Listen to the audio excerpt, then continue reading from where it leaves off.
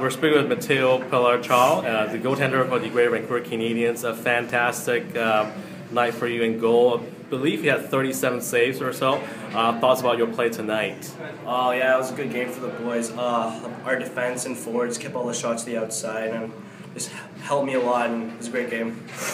Um, thoughts about uh, your own play in the first period because uh, I believe they outshot you guys 19 to 8, but you guys were uh, ahead to nothing. Must have been uh, must have felt good going to the dressing room with the lead there. Yeah, it was good. I tried to compete as hard as I could through uh, through the first, try to battle through screens and keep the rebounds to the outside. But again, as again, the players uh, did a good job of keeping pucks to the outside, so it was a team effort.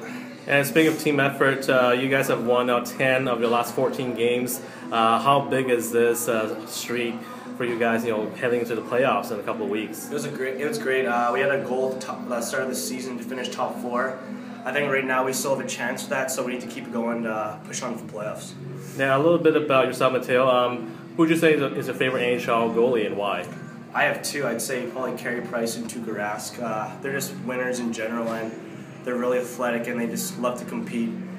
Awesome. Uh, Montreal and Boston goaltenders. Yeah. Uh, is there one team that you prefer more more than the other? Of those two? Of those two, or, or any anybody else? Well, my favorite team is probably Vancouver. Okay, yeah. awesome. All right, perfect. And uh, what uh, I guess what got you started uh, in, into you know playing goal? Well, I started actually pretty late. I started in hockey floor, but at first I didn't even really want to. But at like a little three on three thing, uh, my coach asked me if I wanted to go, and I guess I had to, and just loved it ever since.